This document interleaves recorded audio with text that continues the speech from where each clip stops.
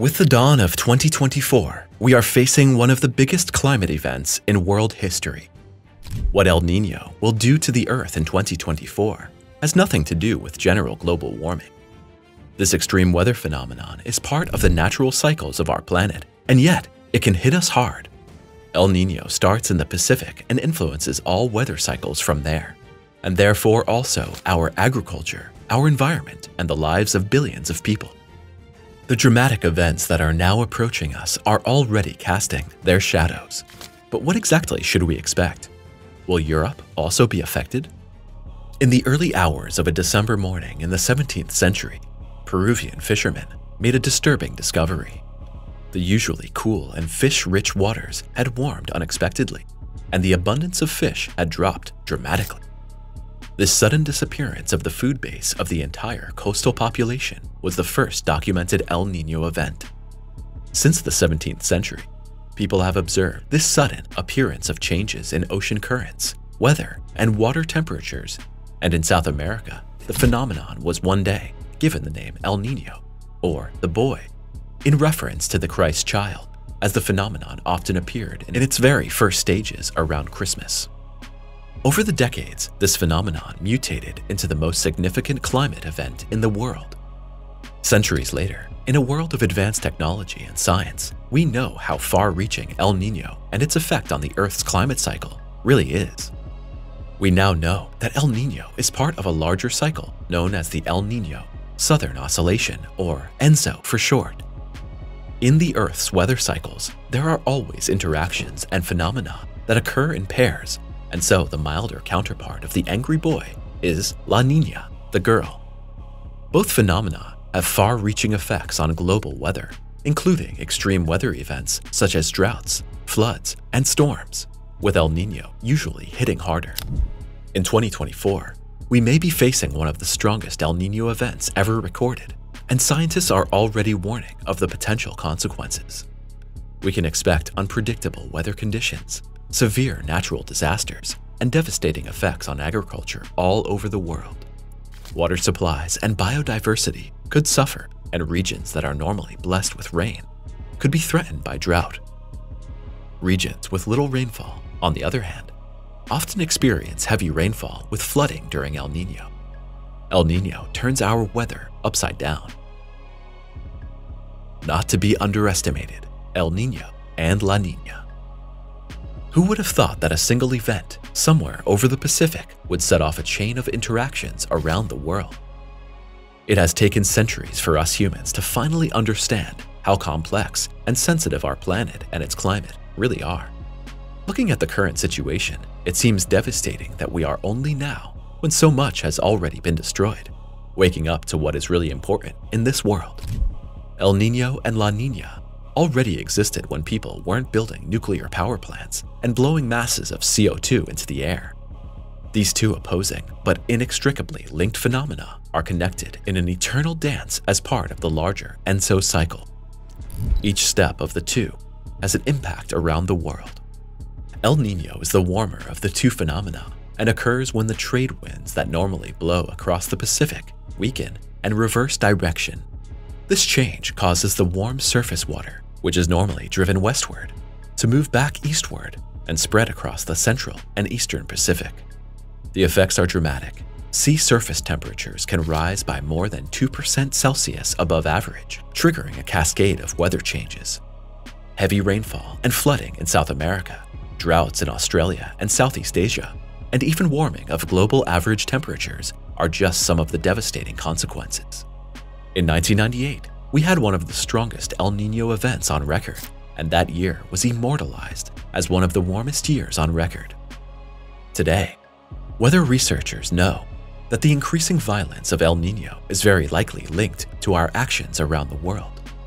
Man-made global warming meets a monumental weather phenomenon, and together, they can have dire consequences for the planet.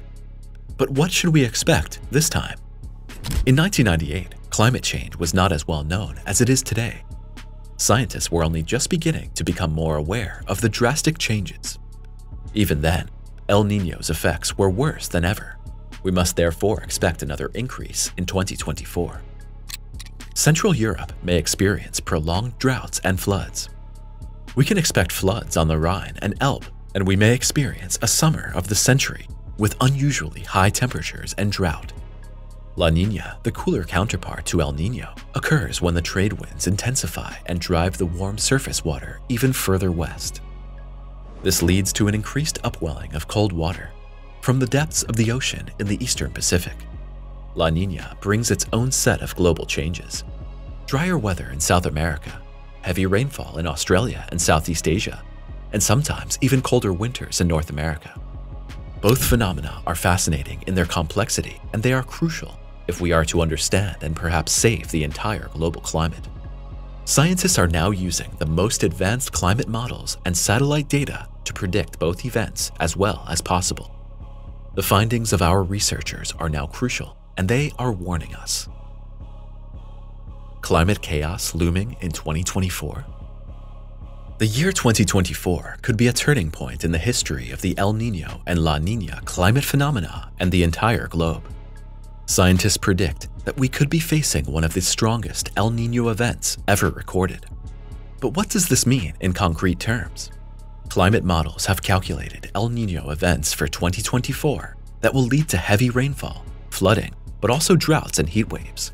From 1997 to 1998, El Nino caused severe flooding in South America and devastating droughts in Southeast Asia and Australia.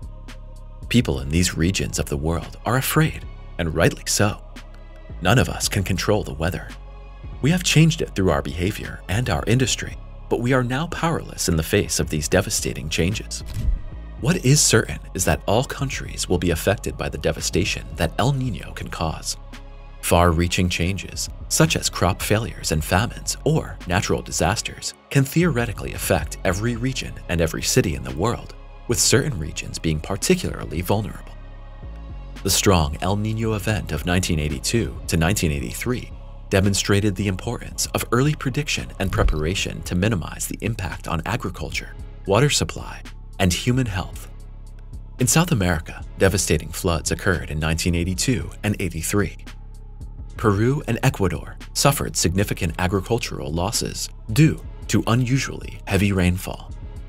Australia and Indonesia experienced severe droughts that resulted in water shortages and failed harvests.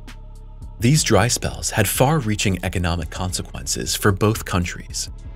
In India, on the other hand, weaker monsoon rains led to reduced crop yields, which also affected the food supply in various regions.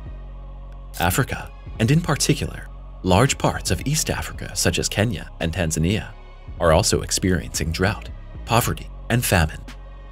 In North America, on the other hand, El Nino led to milder winters in the USA and Canada, resulting in an increase in pests.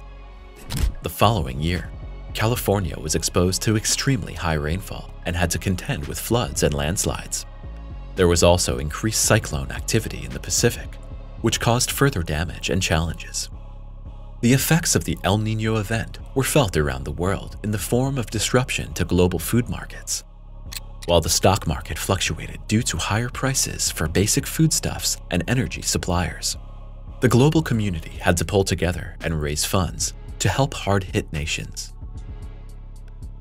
El Nino will come, that much is certain. So what should each and every one of us expect? Agriculture is particularly susceptible to the fluctuations of El Nino and La Nina. In years with a strong El Nino, crop failures can lead to food shortages in some regions, while other areas may experience unexpected crop surpluses. These changes require flexible adaptation strategies and further cooperation among governments. You may notice that certain foods or imported fruits and vegetables become more expensive or scarce. For the fishing industry, El Nino and La Nina can bring dramatic changes. If fish populations shift due to the changes in sea temperatures and currents. Catches in some regions may stop from one day to the next. El Nino often leads to a sharp decline in anchovy populations off the coast of South America, and these small fish are a food staple in South America. Even on world markets, the delicacy could become rare and expensive. Fish could become more expensive in general. In years with particularly severe events, extreme fluctuations in raw material prices and disruptions in the supply chain were possible. As a result, this has an impact on inflation and the financial budgets of countries and companies. The consequences could be a general rise in prices. Wherever there are floods and droughts, the risk of diseases such as malaria, dengue fever, and cholera increases. International rescue teams and aid are needed here, and this will also affect countries in Central Europe. Nevertheless, El Nino and La Nina are not enemies or evildoers. They are part of the soul of our planet, giving us insights into its complex mechanisms. The Earth has coped wonderfully with these fluctuations for thousands of years. Only we humans are increasingly vulnerable with our complex civilization and growing world population. How can we protect ourselves? You can take steps to protect yourself and your environment from the effects of El Nino. First of all, it is important that you regularly inform yourself about weather forecasts and climate reports. If you have an agricultural or horticultural business, you should be prepared for drought and heat. In times of drought, it's particularly important to conserve water.